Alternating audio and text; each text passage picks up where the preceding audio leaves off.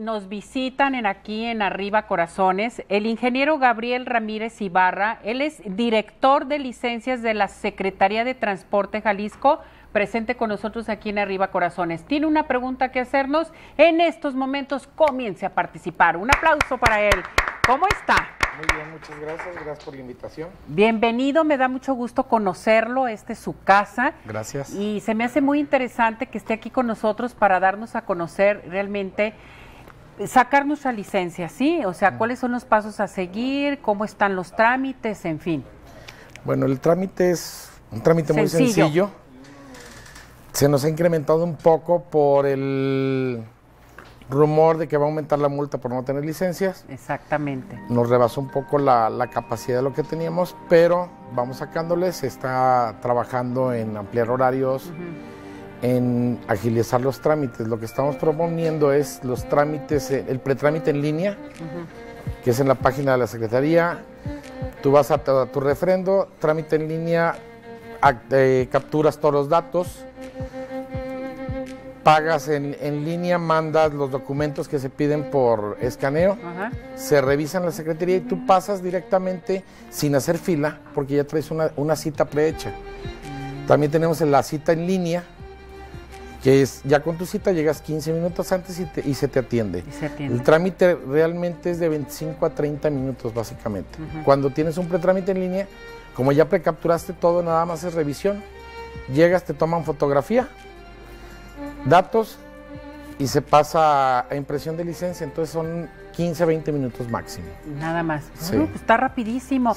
Y a ver, este ingeniero, ¿qué hay acerca de los rumores?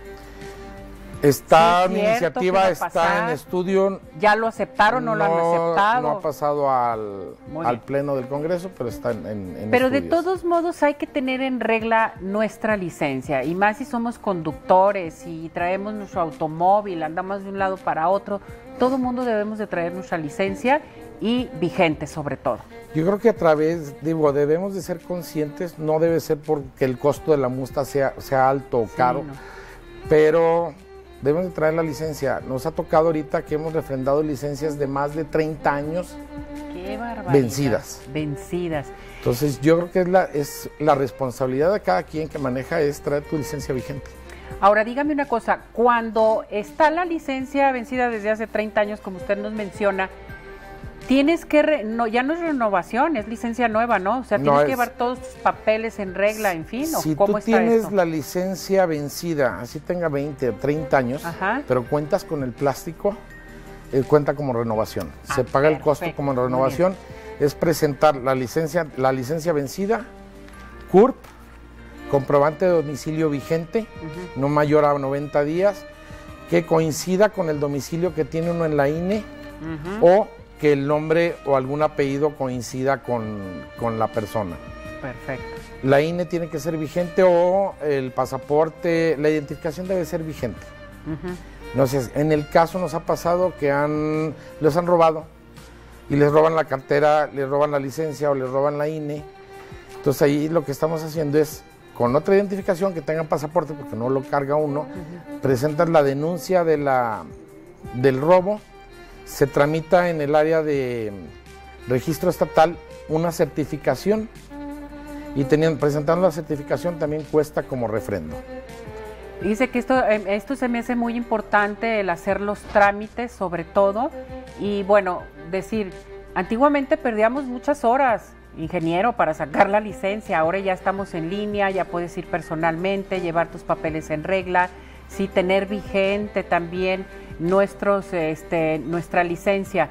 Para los menores, todavía tenemos la oportunidad, los menores de edad, hasta que... Los menores de 16 a antes de cumplir los 18 años pueden sacar un permiso de conducir de automovilista.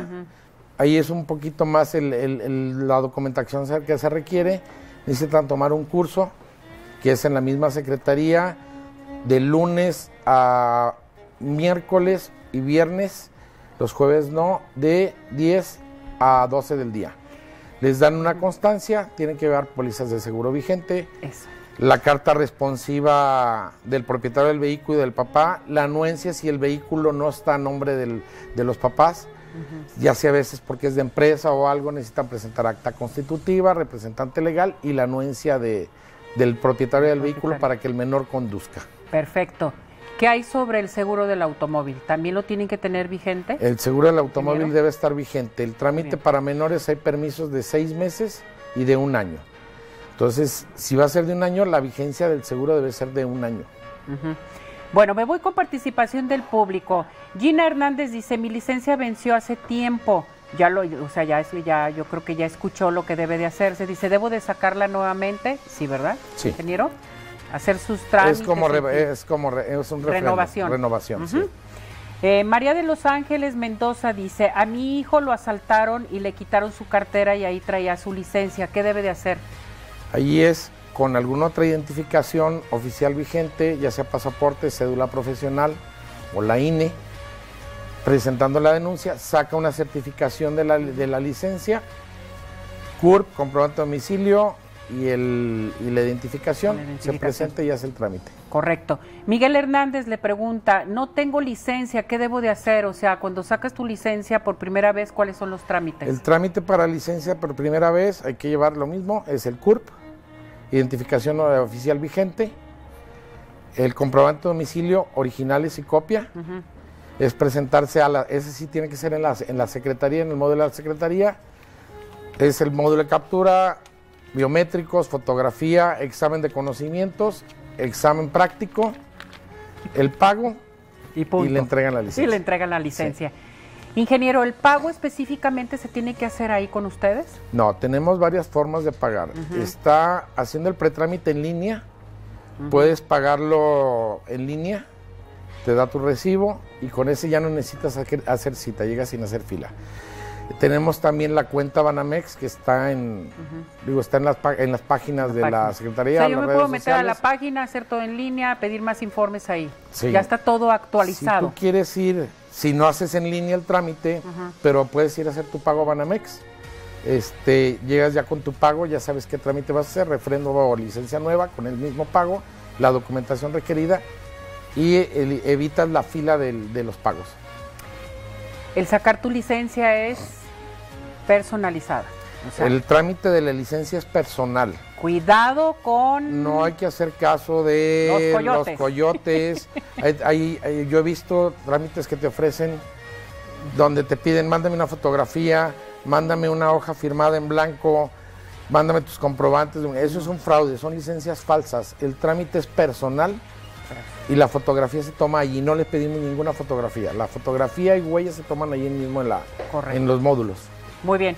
Ingeniero, pues muchísimas gracias. Aquí lo esperamos. Eh, gracias. Para que venga a darnos toda la demás información para nuestro público, el sacar nuestra licencia, que todo esté vigente.